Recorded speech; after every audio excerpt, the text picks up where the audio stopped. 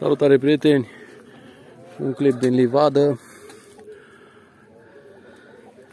Să vedem cum și cât de încărcați sunt pomii, cum se prezintă. Cam așa arată soiul anașpet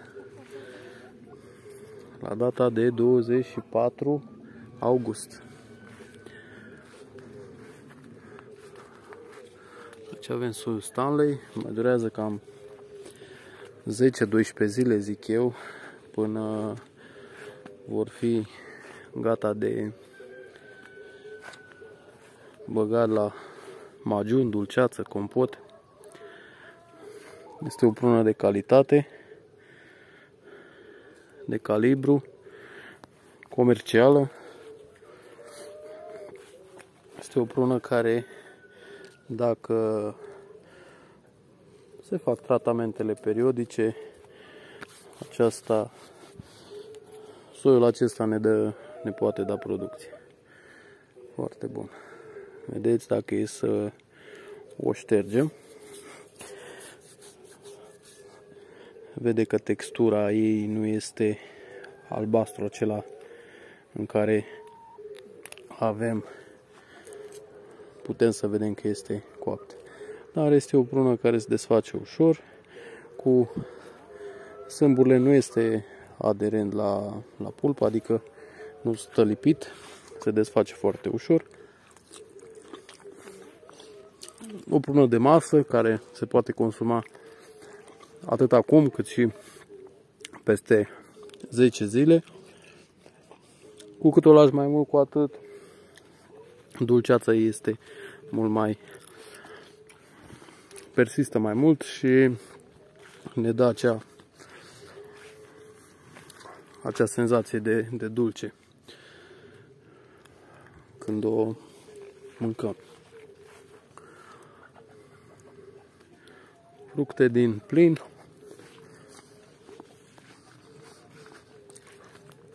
Nu pot spune același lucru despre soia nașpet pentru că el cred că mai are nevoie de aproape o lună de zile până va fi cu adevărat uh, decules pentru a fi distilat sau pentru a se face diverse compoturi, dulcețuri sau majunuri. Am ieșit la filmat pentru că vin după o repriză de ploaie. Ploaie. Au dat așa un pic pământul. Dar e bună pentru că pământul are nevoie are nevoie de umiditate e aproape o lună de zile de când nu a mai, nu a mai plouat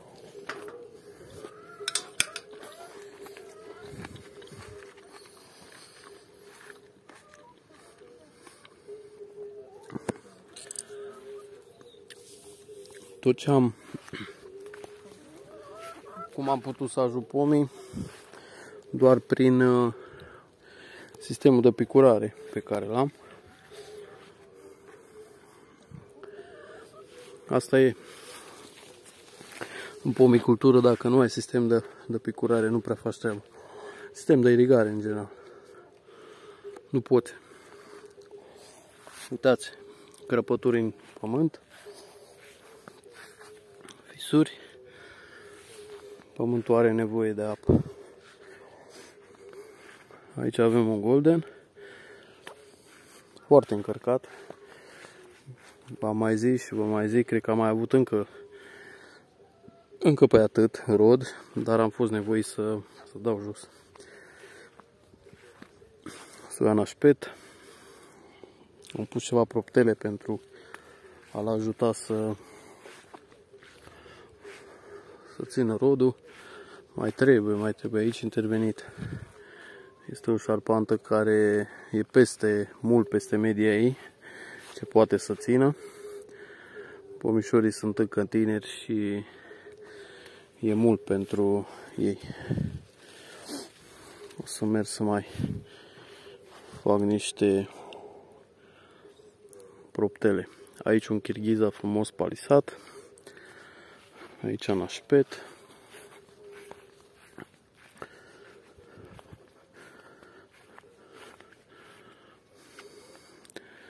Asta e rău câteodată că ai prea multe și să rup crăcile, câteodată n-ai deloc și ai vrea să ai producție, pentru că munca ta trebuie să fie răsplătită cumva. Nu-ți convine ca la alții să vezi când să rup crăcile și la tine două, trei prune. Stanley. Unii îl uh, subestimau că nu produce, că este sensibil, că mai multe. V-am zis, în momentul în care ai grijă de pom, îi oferi stropirile care trebuie, îl hrănești, pomul îți dă și la rândul lui. Meri la fel, nu se lasă mai prejos cu nimic. Aici avem soiul Florina, forma de conducere palmetă cu brațe orizontale.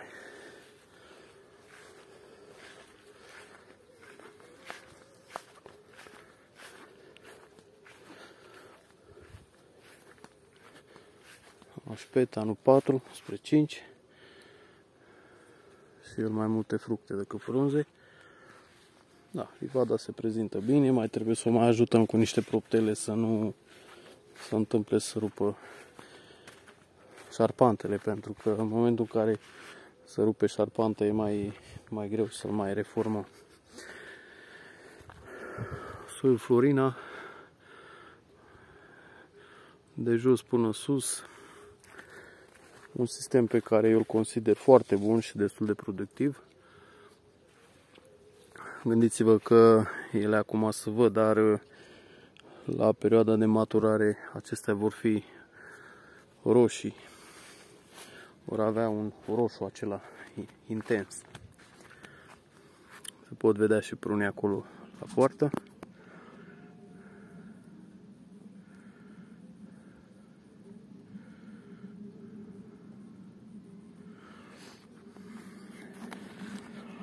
Mergem să...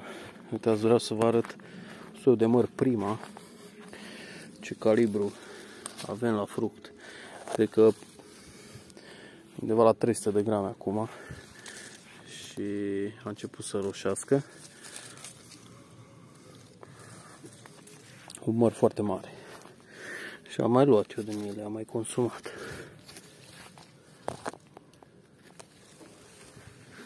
La fel, golden. Golden delicios. Foarte mare. Fructul. Și aici, aici aici și aici pe și foarte curate.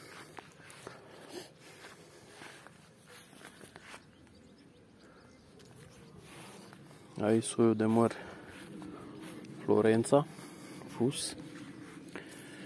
Este, părerea mea că este columnar. Aici niște piersici, Uitați un anașpet mai grăbit față de ceilalți și stilul lui de, de formare a rodului este stilul exact cum se formează strugurele, așa ciorchinos. Aici parcă avem un, un ciorchine de strugure mai, mai mare. Foarte mult îmi place cum își face rodul. Trecem un pic la palmete. În partea de jos, primele două șarpante sunt altoite cu golden, iar la bază este un Florina. Road King, o culoare superbă la, la acest măr. A avut mult mai multe fructe, dar uh, am mai normat producția și o zic că are undeva la 20 de mere, dar foarte frumos colorate. Este o clonă de-a lui Starkimson. Aici avem uriașă de voinești, productiv și el, însă fructe mici. mici pentru că el este încă în creștere, în dezvoltare și trebuia să-i fi lăsat mai puține. Frumos de voinești și la fel și el echilibrat pentru că are și creșteri anuale, are și rod și are și continuitate către următorul etaj.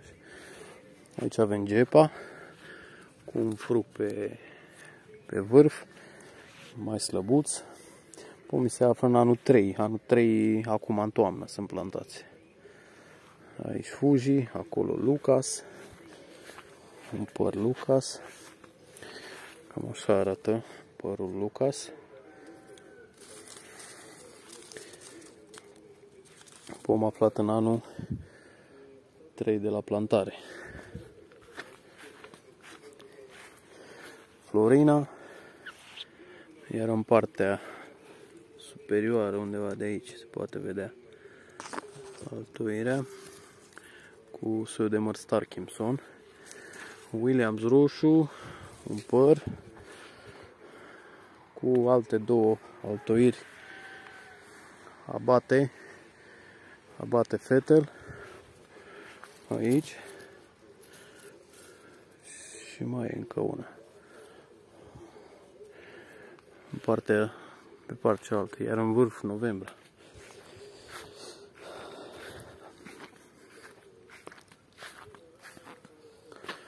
Ionatan, plin, ușor, ușor începe să roșească. La acest uh, măr avem și tăiere, puteți să căutați pe, la mine pe canal. Aici avem novembra format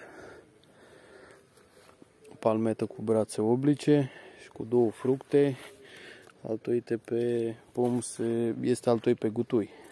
De aici calitatea și mărimea fructului pare să fie mai mare. Acolo întoasă de Joaju.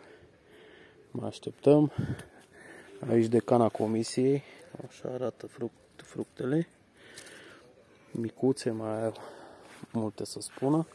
Auriu de bistrița. Foarte frumos mărul, îmi place cum arată, comercial. E posibil să fie peste golden la, la gust, însă nu, nu pot uh, să am o decizie finală până nu gust. Golden nu știu. Îmi place foarte mult mărul, dar acesta se spune că ar fi superior uh, goldenului.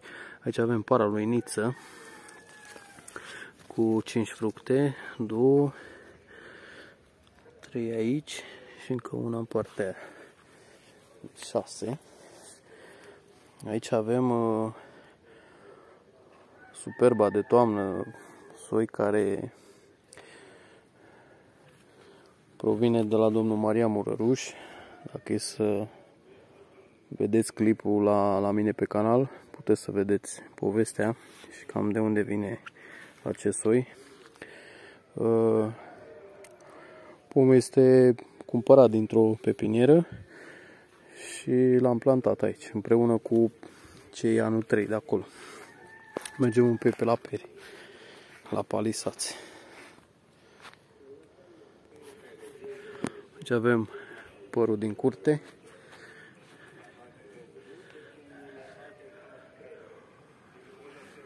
Este Williams roșu. Iar uh, aici și pe partea cealaltă două șarpante de novembrie.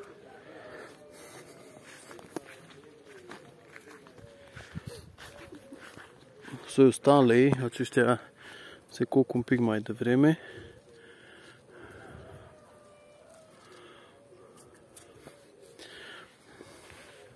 Acesta, acesta, că de aici se văd mai bine.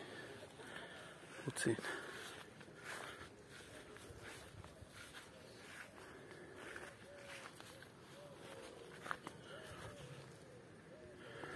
Iar acum suntem la palisați. Soiul abate, abate fetel. Peste 200 de grame la pară în momentul de față, dar mai merge, mai, mai trebuie să mai le lăsăm. Alături, vedeți, aici puteți să vedeți, aici avem abate fetele, iar aici avem conferanțe. S-au intersectat șarpantele și am posibilitatea să vă arăt cum arată soiul abate și cum arată conferanț. Conferanțul avem aici. Este o pară mai uh, borcanată jos, nu la fel de lungă în coadă ca abate, dar cumva se seamănă. Deci abate fetel cu conferanț și cu untoasă bosc se seamănă foarte mult. Aici avem chifer. Vedeți ce culoare frumoasă uh, are pe partea însorită. Asta e avantajul palmetei. În momentul în care faci palmetă, soarele va pătrunde uh, până în spate și va putea să coloreze fructele frumos. Vedeți? La fel, chifer. Iar aici, lângă, avem uh, bode epure sau Star Kimson. Un calibru foarte frumos. Spre 250 de grame, asta zice eu la măr, în momentul de față. Echilibrat rodul.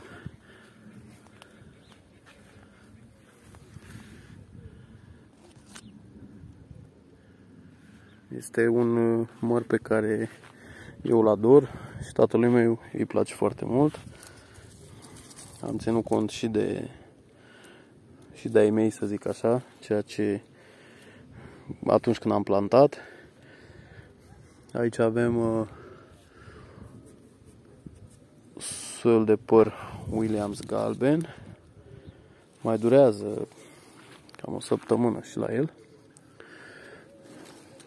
Lângă soiul de păr untoasă Hardy.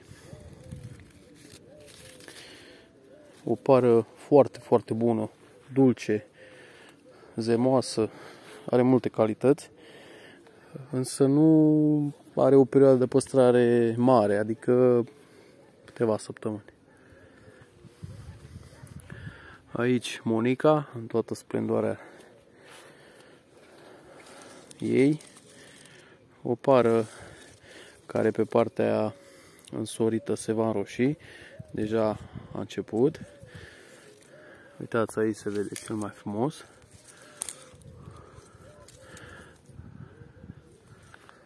O pară uh, foarte comercială, cu un aspect comercial deosebit. Nu excelează ea la gust, dar uh, pentru o pară de, de vară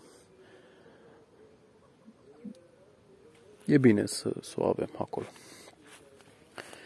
Kiefer, ținând cont că este un păr de iarnă, acestea vă dați seama că vor fi gata spre sfârșitul lunii octombrie. Într-adevăr, fructele sunt micuțe, dar uh, va mai avea timp să, să bage în fruct și să alimenteze fructul acestuia, acestui soi. Aici, soi de păr Pagmans Triumph. Am avut o producție foarte bună. Uh, acesta este ultimul fruct pe care îl mai am în, în pom. Uh, un calibru impresionant, sare lejer de 400 de grame, uh, o pară răcoritoare, o pară crocantă, cu pulpă crocantă, pur și simplu în momentul în care o muști îți inundă gura de, de apă, de e, e bună, e o pară ok. Însă tot așa, perioada de păstrare, sau mai bine zis, e bine să le consumăm în stare proaspătă. Nu prea ar trebui să le ținem foarte mult, datorită faptului că uh, sunt bune atunci când uh, se va și are seva. În general, uh, apa care se află în, în fruct este pe deplin acolo abate fetel, o pară foarte bună, o pară care poate ajunge la un calibru destul de bun, sare lejer de 250 de grame. Acum depinde foarte mult și cât lăsăm în pom. Eu am lăsat cam mult, dar uh, putem să normăm producția. După 15 septembrie, a zice că sunt gata.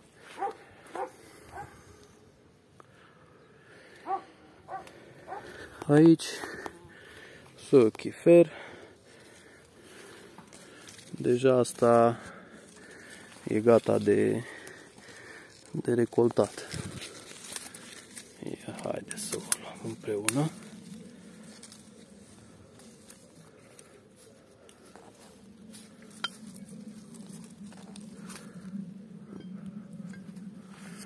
Gata. Și acum o să o să o umplem cu cu țuică sau cu palink.